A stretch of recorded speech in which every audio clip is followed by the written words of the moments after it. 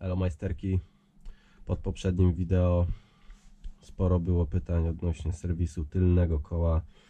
Także zajmiemy się moją piastą. Jednak, żeby odkręcić koło, mamy tutaj jeden problem do obejścia. Jest nim zużyty pek. W zasadzie końcówka, która nie pozwala zmieścić nasadki. Widzicie? Tu wejdzie tak normalnie, ale nasadka już dookoła niestety nie chce się zmieścić, tak? Częsty problem. Zdarza się jak się ostro dużo grinduje. Jak już jest też stary. Ten rdzeń jest z alu, także nie jest to chromo. Są wersje chromo od SKNY i one teoretycznie tak się nie powinny rozwalać. No ale niestety te chromo są dużo cięższe. Miałem w ręku ostatnio wersję chromo i tą lżejszą wersję alu. No i jest różnica i mimo wszystko no komuś zależy na wadze, tak jak mi w tym przypadku to wolę raz na pół roku się pomęczyć i naprawić to. No i przeoszczędzić na wadze, nie? Także jak się domyślacie, dzisiejszy poradnik będzie dotyczył serwisu pegów. Zasada jest prosta. W przypadku całego zwykłego stalowego pega możecie po prostu pocisnąć go flexem, bo niekiedy końcówki ostro dojechane mogą wręcz zamknąć się w sobie i wtedy nie ma sensu tu dłubać i uprawiać jakiegoś druciarstwa. Bierzecie flex, upierniczacie końcówkę, jest po problemie, tak, wtedy możecie wsadzić, nie ma żadnego kłopotu. Tutaj no, uszkodziłbym nakładkę plastikową, także jeszcze nie jest na tyle też zorany, że, że spokojnie można po prostu spiłować ten rancik. W moim przypadku jest to nasadka 17, gdyby ktoś miał 19, jeszcze trochę większa, jeszcze większy problem. No ale co? Potrzebujemy pilnik i lecimy. Będziemy tutaj szlifować, przez co rancik, to zamknięcie się do środka pega będziemy redukować i co? I stopniowo powiększymy sobie miejsce. Co lecimy.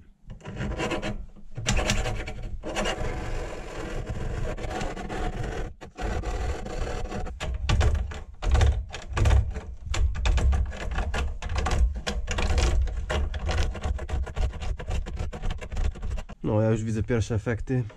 Tutaj zaczyna się zaokrąglać. Jeszcze tutaj jest taka z pół centymetra warstwa, którą zaraz zredukuję i będzie git.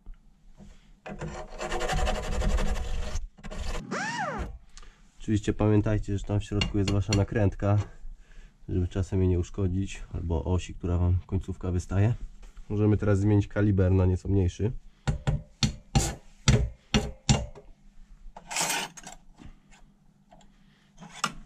Pyk. Widzicie tutaj, ile zeszlifowanego pega wypadło? No, tu mam jedną bulwę. Zredukuję ją tym większym i będziemy kończyć.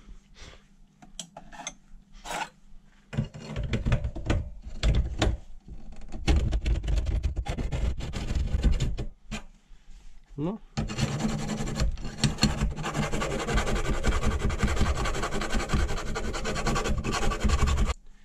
Wydaje mi się, że to będzie już. Sprawdźmy. Pyk. O, jeszcze ile luzu. Gościu. Żeby nie było.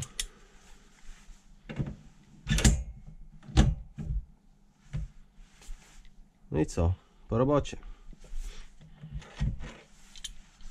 Jeszcze jak już jesteśmy takie majstry, to możemy być pro, tak? Użyć papierku ściernego i zeszlifować, bo wiadomo co to teraz pruliśmy tutaj to może no, mogą zostać ostre krawędzie, tak? Później ten pek gdzieś tam zahaczycie o nogę albo rękę wkładając klucz, także szlifowanko na koniec i co?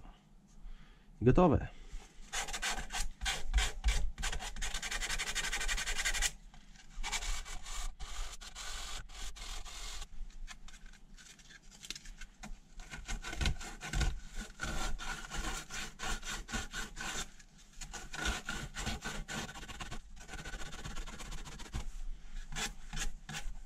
Dobra, majstry. To by było na tyle. Tak wygląda szybki serwis Pega. Piszcie w komentarzach, czy mieliście takie problemy. Fajnie, jak Wam pomogłem. Wtedy zostawiajcie łapkę w górę, komentarz pod filmem i obowiązkowo subskrybujcie kanał. Elo! Yeah.